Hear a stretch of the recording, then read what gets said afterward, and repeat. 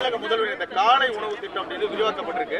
குறிப்பா வந்து இந்த தொடக்கப்பள்ளி மாணவர்களுடைய எண்ணிக்கை வந்து தொடர்ந்து அதிகரிச்சு வருது அப்படின்னு சொல்லி இந்த திட்டம் அறிவிக்கப்பட்டிருக்கு. இதை எப்படி செயல்படுத்திருக்காங்க இதை எப்படி பாக்குறீங்க ஆனால் தமிழகத்தை பொறுத்தவரை இரண்டாயிரத்தி இருபதுல நம்முடைய புதிய கல்விக் கொள்கையை கொண்டு வந்த பொழுது மத்திய அரசு குறிப்பாக காலை உணவு திட்டத்தை புதிய கல்விக் கொள்கையில் ஊக்குவிச்சிருக்கிறாங்க. இரண்டாயிரத்தி இருபது புதிய கல்விக் கொள்கை எடுத்து பார்த்தீங்கன்னா நம்முடைய பத்திரிகை நண்பர்களுக்கு தெரியாதில்லை எல்லோருக்குமே தெரியும். இன்னைக்கு இந்தியா முழுவதுமே இதை கொண்டு வர வேண்டும் என்பது மோடி ஐயாவுடைய விருப்பம். அதற்கான ஃபண்டும் கூட மத்திய அரசு கொடுக்க ஆரம்பிச்சிருக்கிறாங்க. குறிப்பாக புதிய கல்விக் கொள்கையில் கொண்டு வந்திருக்கக்கூடிய திட்டத்தை எல்லாம் ஒரு மாநில அரசு முழுமையாக நிறைவேற்ற ஆரம்பிச்சாங்கன்னா அதற்கான ஃபண்டும் கூட மத்திய அரசு கொடுக்க ஆரம்பிச்சிருக்கிறாங்க. ஆனால் தமிழக அரசு வந்து விதண்டாவாதமாக நாங்கள் புதிய கல்விக் கொள்கை ஏற்றுக்க மாட்டோம். ஆனால் இது புதிதாக இந்த காலை உணவு திட்டம் என்பது நாங்கள் கண்டுபிடிச்சிருக்கிறோம். உலகத்தில் யாருமே இல்லை நாங்கள் கண்டுபிடிச்சிருக்கோம் அப்படின்னு சொல்வது இது வேடிக்கையானது கண்ணா. காலை உணவு திட்டம் கண்டிப்பாக கொடுக்கணும். அது அரசியல் பண்ணக்கூடாது. அதில் எந்த மாற்று கருத்தும் இல்லை. அது யார் கொண்டு வந்தாலும் கூட மக்களுக்கு அது பயன்படணும். ஆனால் தமிழகத்தில் அது திராவிட மாடல் என்று சொல்வதை ஏற்றுக்கொள்ள முடியாது. அதனால் காலை உணவு திட்டமாக இருக்கட்டும் மதிய உணவு திட்டமாக இருக்கட்டும் எல்லா குழந்தைகளுக்கும் இன்னும் சத்தாக குறிப்பாக நியூட்ரிஷஸாக கொடுக்குறாங்கண்ணா உணவு கொடுப்பது முக்கியமல்ல. இன்றைக்கி மத்திய அரசு வந்து நிர்ணயிச்சிருக்கிறாங்க. ஒரு குறிப்பிட்ட வயதில் இருக்கக்கூடிய பள்ளி மாணவன் மாணவி எந்த அளவுக்கு கெலோரிஃபிக் வேல்யூவோட உணவை சாப்பிடணும்? மில்லட் உட்பட சிறுதானியங்கள் உட்பட அந்த குழந்தைக்கு புரோட்டீன் புரதச்சத்து உட்பட கிடைக்கணும் அதையும் தமிழக அரசு மத்திய அரசோடு இணைந்து நூறு சதவீதம் தமிழகத்திலே அதை கொண்டு வருவதற்கு முனைப்பு காட்ட வேண்டும். இதில் அரசியல் செய்யக்கூடாது. இதில் நிதி பற்றாக்குறை இருந்தாலும் கூட மத்திய அரசு கொடுப்பதற்கு தயாராக இருக்கிறாங்க. இத்தனை ஆண்டு காலம் கழித்து மாநிலத்தில் ஒரு கல்விக் கொள்கைக்காக ஒரு குழு போட்டு ரிப்போர்ட் கொடுத்துருக்காங்க. அந்த ரிப்போர்ட்டை பற்றி நாங்கள் விலாவரியாக பேசியிருக்கோம். அந்த ரிப்போர்ட்டை பாயிண்ட் பாயிண்ட்டாக அனலைஸ் பண்ணியிருக்கோம்.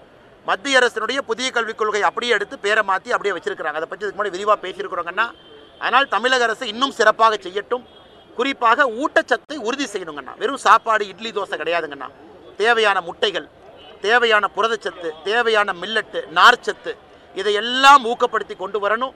அதற்கு என்ன வேண்டுமானாலும் மத்திய அரசு செய்யும் காரணம் புதிய கல்விக் கொள்கையில் இதை பற்றி நம்ம பேசியிருக்கோம்.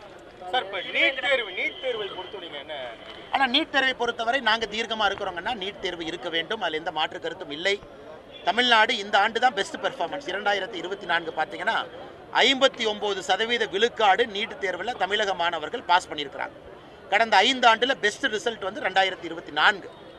இன்னைக்கு நீட்டு தேர்வு நடத்தக்கூடிய NTA national testing agency NTA NEET NEET தேர்வு நடத்துகிறாங்க அதில் குளறுபடிகள் இருக்கா? சுப்ரீம் கோர்ட் ஆராய்ஞ்சிக்கிட்டு இருக்கிறாங்க. அதில் இருக்கக்கூடிய தவறுகளை சரி பண்ணிக்கிட்டு இருக்காங்க. என்டிஏ வந்து நீட்டு தேர்வு மட்டும் நடத்தலை. யூஜிசியினுடைய பல பரீட்சையிலிருந்து நிறைய பரீட்சைகள் வந்து என்டிஏ நடத்துகிறாங்க என்டிஏனுடைய தலைவரை மாற்றிருக்கிறாங்க சுப்ரீம் கோர்ட்டு ஒத்துக்கிட்டாங்க. இந்த நீட்டினுடைய பேப்பர் லீக் என்பது லோக்கலைஸ்ட் சில இடங்களில் ஒரு இடங்கள் நடந்திருக்கு. அதற்கான யார் தவறு செஞ்சுருக்கிறாங்களோ நடவடிக்கை எடுக்கிறாங்க. பத்தாண்டு சிறை தண்டனை பார்த்துருக்கிறீங்க நம்முடைய புதிய சட்டம். இது ஒரு பக்கம். இன்னொரு பக்கம் இந்த நீட்டை வைத்து திமுக தொடர்ந்து அரசியல் பண்ணுறாங்க நாங்கள் கேட்பது ஒன்றே ஒன்று மட்டும்தான். வெள்ளை அறிக்கை. நீட்டு வந்து பத்து வருஷம் ஆயிடுச்சு நீட்டுக்கு முன்னாடி பத்து வருஷம். வெள்ளை அறிக்கையாக கொடுங்க. எத்தனை அரசு பள்ளி மாணவர்கள் அரசு மருத்துவ கல்லூரிக்கு நீட்டுக்கு முன்னாடி போயிருக்கிறாங்க. நீட்டு வந்ததுக்கப்புறம் போயிருக்கிறாங்க. முதல் தலைமுறை பட்டதாரிகள் இருக்கக்கூடிய குடும்பத்தில் எத்தனை பேர் போயிருக்காங்க? தனித்தனியாக பிரித்து கொடுங்க.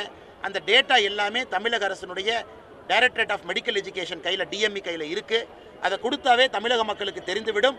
நீட்டை பொறுத்தவரை ஏழை மக்களுக்கு அது உதவியாக இருக்கிறது. நடுத்தர மக்களுக்கு உதவியாக இருக்குது டேட்டாவே கொடுக்காம வெறும் வாய்ப்பேச்சு தமிழக அரசு பேசி கொண்டிருக்கின்றார்கள். ஆமாங்கண்ணா. ஆமாங்க ஐயா. ஆமாங்க ஐயா நம்மை பொறுத்தவரைங்க ஐயா காவல்துறை வெளியிட்டிருக்கக்கூடிய சிசிடிவி உண்மைதான். அது உங்களுக்கு தெரியும் எனக்கு தெரியுங்க ஐயா அதில் வந்திருக்கக்கூடிய புகைப்படத்தில் இருக்கக்கூடியவங்களை அவங்க ஐடென்டிஃபை பண்ணி இவங்க தான் குற்றவாளின்னு சொல்லியிருக்காங்க. அதுவும் உண்மைதான். அதுவும் மறுக்கிறதுக்கு எது இல்லை. இன்றைக்கி நாம் ஒரு விஷயத்தை புரிஞ்சுக்கணுங்க ஐயா. அந்த கூலிப்படை என்பது வந்து வெட்டிட்டு போகிற படை. இந்த கூலிப்படையை ஏவி விட்டது யார்? இதற்கு பண சப்போர்ட் பண்ணது யார்? இந்த கிரிமினல் கான்ஸ்பிரசி அப்படிங்கிறாங்க. யார் இதற்கு மூளை? யார் இவரை கொன்றால் பலன் கிடைக்கும்னு யார் கொன்னாங்க? இதை கண்டுபிடிக்கத்தான் நாம் சொல்லிக் கொண்டிருக்கின்றோம். இல்ல திருவேங்கடம் வந்தாரு என்கவுண்டர் பண்ணிட்டோம் அவர் தான் வெட்டார். அதுல யாருக்குமே மாற்றுக்கிறது இல்லைங்க ஐயா. திருவேங்கடம் என்கவுண்டர் ஆனால திருவேங்கடம் சொல்ல வந்து உண்மை என்ன? திருவேங்கடத்தை ஏவி விட்டவர்கள் யார்? திருவேங்கடத்துக்கு பின்னாடி யார் இருக்காங்க? திருவேங்கடம் என்ன அவ்வளவு பெரிய ஆளா?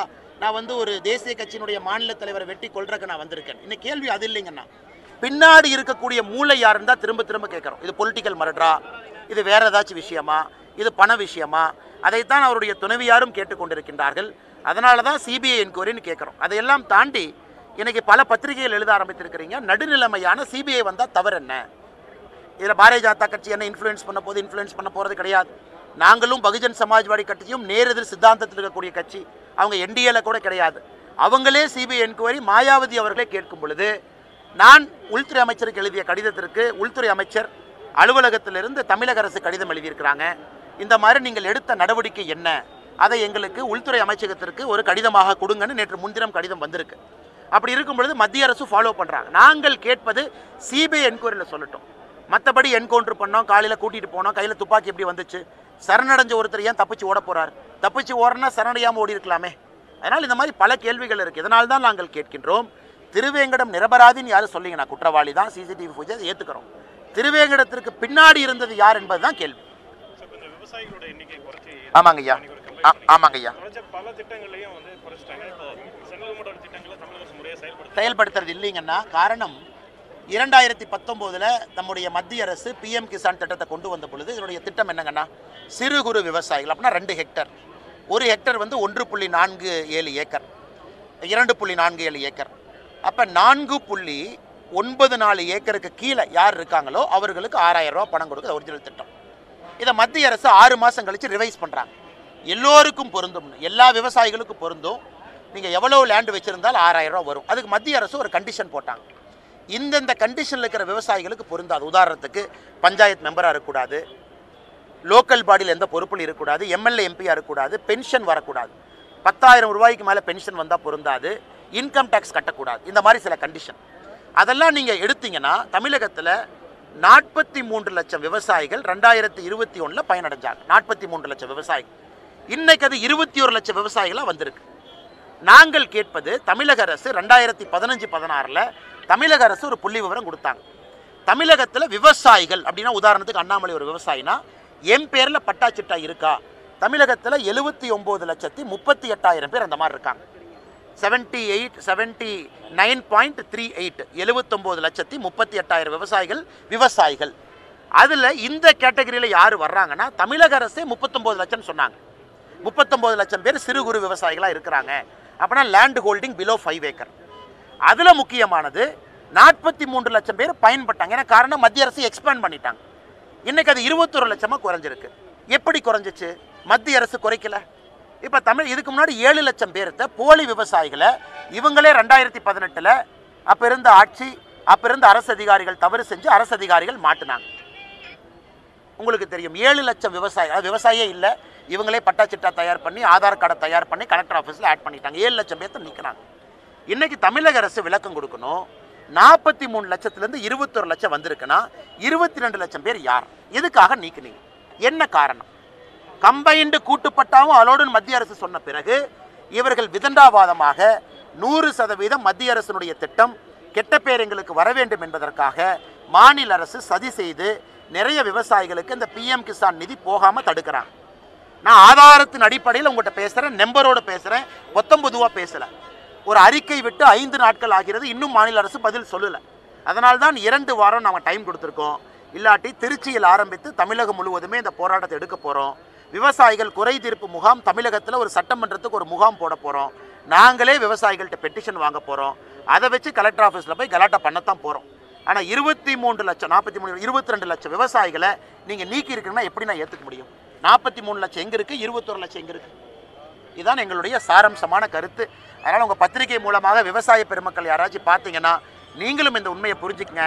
கலெக்டர் ஆஃபீஸில் இருக்கக்கூடிய ஜேடி அக்ரிகல்ச்சரை போய் பாருங்கள் கலெக்டர் ஆஃபீஸ் அதிகாரிகளை பாருங்கள் உடனடியாக உங்களுடைய பெயரை இணைக்க பாருங்கள் இணைக்க முடியவில்லை என்றால் பதினைந்து நாட்களில் பாரதிய ஜனதா கட்சியினுடைய விவசாய குறை தீர்ப்பு முகாமுக்கு வாங்க. அதற்கான நான் உங்களுக்கு அட்ரஸ் ஸ்கெடியூல் எல்லாமே கொடுக்குறோம். அதிலே உங்களுடைய பெட்டிஷனை வாங்கி நாங்கள் அதை முன்னெடுக்கிறோம். ஐயா கொஞ்சம் சத்தமாக சொல்லுங்க ஐயா. அப்படிங்களாங்க ஐயா? அரசு தரப்பு விளக்கம் கேட்டு ஒரு வார காலம் வழக்கு ஒத்தி வச்சிருக்கிறாரு. இது பத்தி உங்க கருத்து?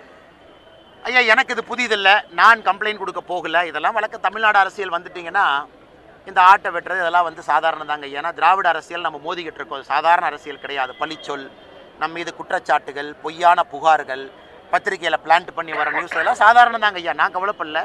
பட் யாரோ ஒரு பொதுநல வழக்கு போட்டு யாரோ போயிருக்கிறதா பார்த்தேன். அதுக்கு நீதிமன்றம் கொடுத்துருக்காங்க. நான் என்ன தீர்ப்பி பார்க்கலிங்க ஐயா? இது நீதிமன்றத்தில் நீதியரசர் சொல்லியிருக்கிறாங்க. திமுகவினுடைய முகம் எப்படி இருக்குது அப்படிங்கிறது தமிழக மக்கள் பார்க்கின்றார்கள் என்பதுதான் நான் சொல்லக்கூடிய செய்தி. அதற்காக நாங்கள் அஞ்சப் போவது கிடையாது. எங்களுடைய பணியை இன்னும் முடக்கி விட்டிருக்கின்றோம்.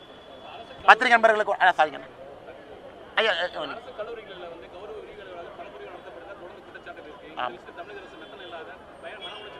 ஆமாங்க ஐயா. ஐயா நேற்று திருச்சியில் நான் ஒரு ஸ்பீச் கொடுத்தேங்க ஐயா. கொஞ்சம் பத்திரிகை நண்பர்கள் தயவு செஞ்சு அதை பார்க்கணுங்க ஐயா. புள்ளி விவரம் கொடுத்துருக்குறோங்க ஐயா. நாலாயிரத்தி முந்நூற்றி எழுபத்தி இரண்டு பள்ளிகளுக்கு தலைமை ஆசிரியர்கள் இல்லைங்க ஐயா. பொறுப்பு போடல. பத்தொம்போதாயிரம் இடத்துல பள்ளி ஆசிரியர்கள் அதாவது இருக்கக்கூடிய போஸ்ட்டை ஃபில் பண்ணல. ஸோ நாலாயிரத்தி முந்நூற்றி எழுபத்தி இரண்டு பிரின்சிபல் இல்லைங்க ஐயா ஹெட் மாஸ்டர் இல்லை பத்தொன்பதாயிரம் பணியிடங்கள் காலியாக இருக்குது ஒரு பக்கம் அரசு ஊழியர்கள் போராட்டம் பண்ணி கொண்டிருக்கின்றார் அதாவது எங்களை நிரந்தரம் பண்ணுங்க நிரந்தரம் ஆகலை. அவங்கள அதுக்கு மாதிரி டெட் எக்ஸாம் பாஸ் பண்ணவங்க. காலி இடத்தை வைத்துக்கொண்டு அவர்களுக்கு திமுக கொடுத்த தேர்தல் வாக்கு நிறைவேற்றாமல் இருக்காங்க. இரண்டு வாரத்துக்கு முன்பு ஒரு அறிக்கை கொடுத்துருக்கோம். தமிழகத்தில் பிடி மாஸ்டர் நீங்கள் பார்த்துருப்பீங்கன்னு நினைக்கிறேன். இந்த பிடி மாஸ்டரை பற்றி அறிக்கை கொடுத்துருக்கோம்.